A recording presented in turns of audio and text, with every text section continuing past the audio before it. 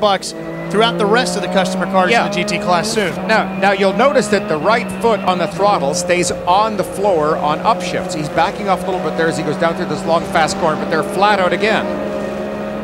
And just tapping the brakes, make sure you're going to be there, and only using the clutch on a downshift. But watch, now he's going to go up the hill here. He's flat out. And listen to the engine RPM. Now you hear the engine RPM drop. All he did was just simply pull back on the gear shift. The electronics take care of stopping the engine from detonating, and it'll help you shift. Eventually, when they get this perfected, the gearbox will also be able to downshift without using the clutch. Right now, they're doing this to make sure it's going to last.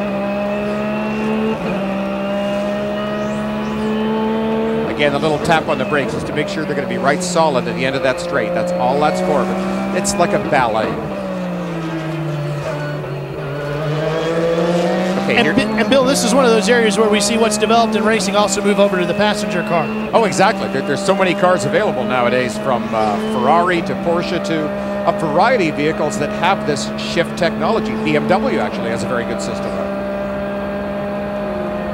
Again, a little confidence tap on the brake pedal just to make sure it's not down too low. And you say a confidence tap, that's really just helping to settle the car.